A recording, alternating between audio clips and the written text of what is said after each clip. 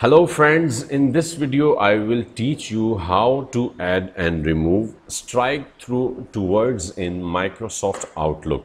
If you are using Microsoft Outlook to sending or receiving email and when you are composing email and if you want to add strike through to the words in your email to any word or words so how you can do it let me show you so you can see I have opened my Microsoft Outlook and we will compose a new email. So to compose or start a new email, we will click on the top left side new email.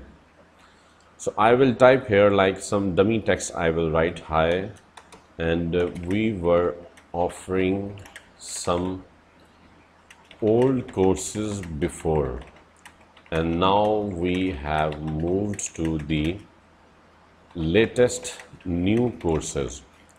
So if I want to add strike through to this old courses what I will do I will select this text.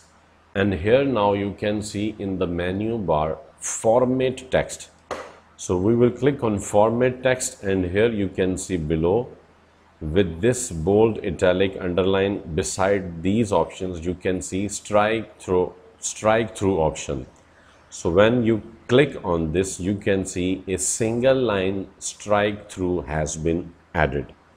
Now the next thing how we can remove it, so we will have to reselect the words or word and then we will check this option. We will uncheck this option again. This we will click actually on this option strike through and you can see this has been removed.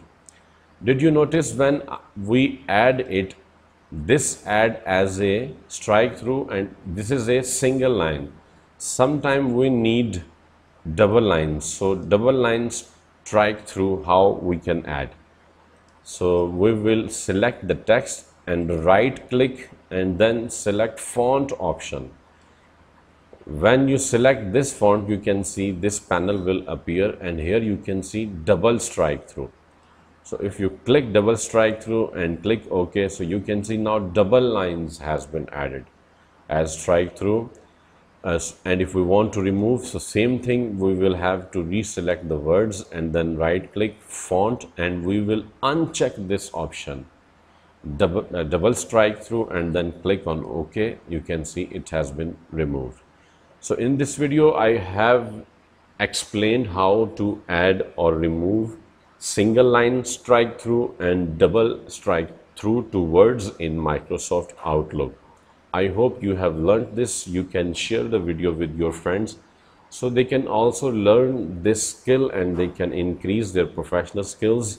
Also, please subscribe to my channel so you will get the notification of my upcoming videos. Thank you so much once again.